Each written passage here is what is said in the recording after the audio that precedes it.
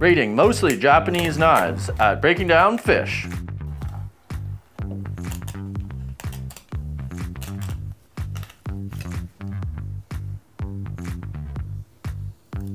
Gyuto. 7 out of 10.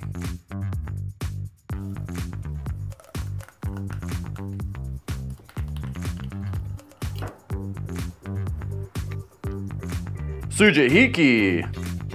8 out of 10.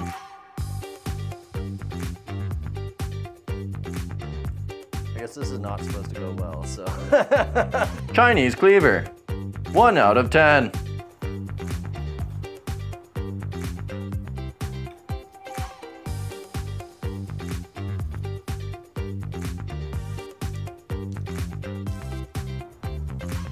Deba.